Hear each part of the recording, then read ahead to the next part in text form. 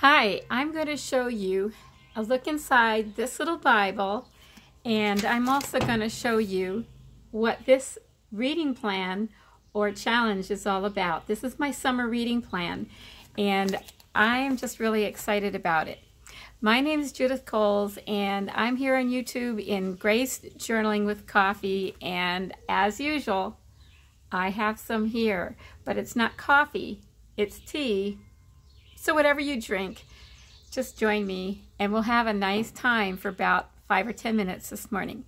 So our afternoon, evening, whatever it is for you. And so this is much more colorful um, when you print it on a color printer. It's really turned out so pretty. I am so happy with it and I just hope it really blesses you. This is the cover page. I love butterflies and I love flowers and it's a 30 days of prayerfulness. Now, I also wrote on my blog about prayerlessness because prayerfulness is what we need to do when we um, don't pray as much as we want to. And, you know, even if you pray a lot, it's never, never enough. And always, always, we need to be learning more about how to really abide in Christ and continually pray like it says in the Bible. And if you want to read some of my blog posts, I have several um, on it. And hopefully today I'm going to be organizing them where they're easy to find.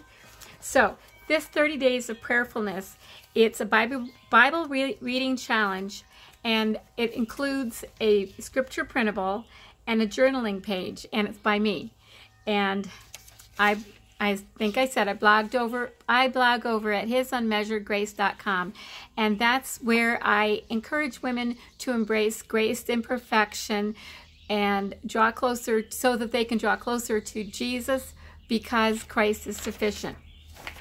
So this I'm offering free um, this month through my blog. And what it is, is it's 30, uh, actually I said 30 and I gave you a bonus day. It's 31 days of, of a Bible reading challenge or plan. And what it is, is each day there is like one verse or mostly one verses. But every once in a while there's two verses and sometimes um, maybe th sometimes three. And there may be, there may be a couple that are more. And it's all about prayer, each one of them. And like, for instance, um, you can spend five minutes doing it, or if you have more time because your children are grown or you don't work, you might want to um, spend a half an hour. And um, that's, you know, what I did some days this week and other days I didn't have quite as much time. So what you can do is you can look up the verses in Bible Hub and you can get other verses that are similar. Or um, you can search out the word like today mine was about seeking the Lord's God's face and seeking God. And I, I just spent a lot of time and collected a lot of ideas and thoughts and verses on that it was actually the one I did yesterday. And that's why I'm saying that this is a good thing to do for the whole summer because you may not have uh, as much time in the summer, even though you think you do, because kids are home from school, grandkids are home. If you have grandkids, if you have littles, suddenly you're busier than you are during the year. You or you think you have more time, and somehow the time just disappears because for some reason we are just like um, busier than usual the time or relaxed and it just fills up the time. So there is this page here and it's a journaling page and you can copy out as many as you need. And in some of my things I have on my blog, they're already created for you. And when you print it, you download it, it just, um, you'll print out what you need. But you'll have to print this as you go. And that's because I'm giving it away for free. And at this point anyway. And what it has, it has um, a journaling, a scripture journaling, and I write out the Bible verse for that day, digging deeper. And that's where I dig deeper in the things that I find as I study out the verse or cross-reference it. I might write them down in here.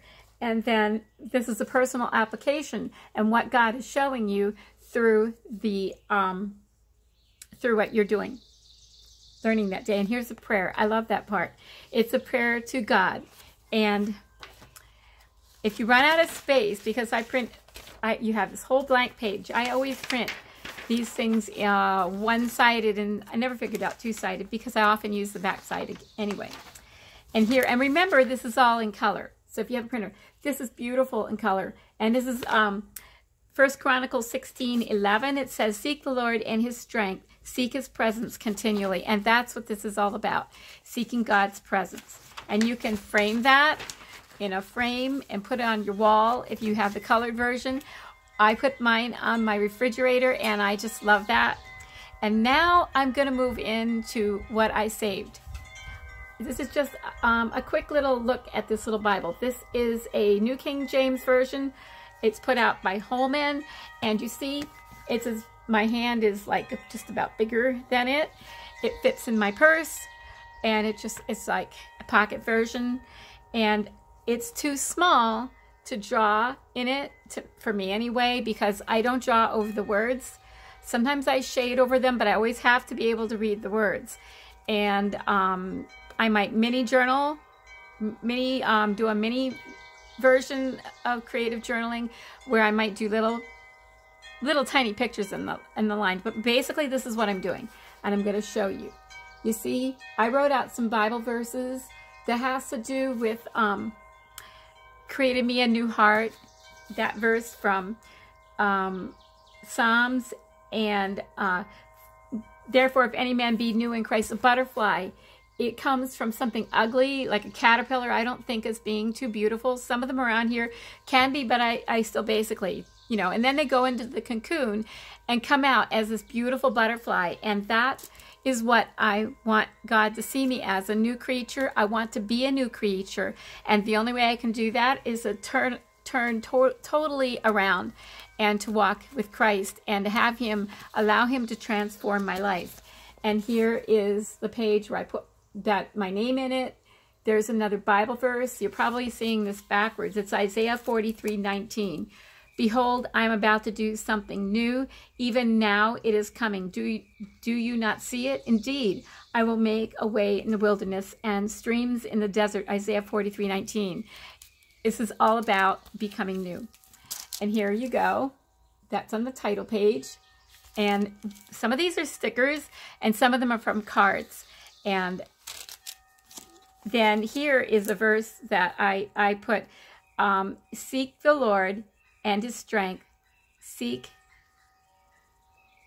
seek his face continually. I don't have my glasses on. And this is from a card or something, uh, maybe it's a something. And I have, have plenty of um, wedding invitations and things like that. So I have that on that page. I made it as a tip-in. It's very strong. And all I did was put a glue stick I put it on a piece of scratch paper and ran the glue stick on the edge and stuck it in there and then put actually a piece of plastic um, paper here that I got from my stickers. Stuck it in there in case any glue came on it and put something on top of it to kind of seal it. And then on the other side was blank. And I wrote things that I looked up when I looked when I was um, researching about um, seeking God's face and uh, different references that I looked up. I looked them up in this Bible and underlined them. And that's what I've done to start off using this Bible, my little um, tiny little Bible. And what I'm doing is um, when I fly this summer or travel by car and we need to take less of what we own, I'm bringing this Bible because I always have to have a real Bible with me because reading it um, on a device is is helpful and good sometimes, but it doesn't cut it in my estimation. And this is large print, but you have to consider it's large print considering the Bible is small and the size paper they had to use. And it works with my eyes. My eyes aren't too bad, so that works. But with yours, maybe you need a bigger, bigger Bible. So get your coffee. And if you missed anything, rewind this. And I want you to comment below and tell me where you're from and or what resonated to you the most from listening to this. So, so thanks for joining me and have a wonderfully blessed day.